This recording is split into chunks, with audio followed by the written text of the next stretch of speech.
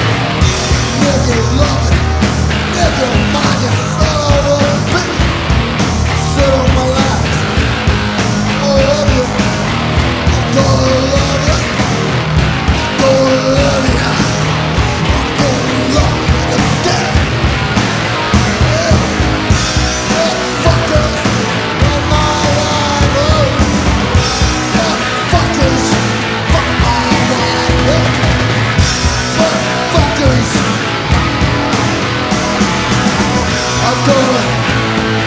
Yeah.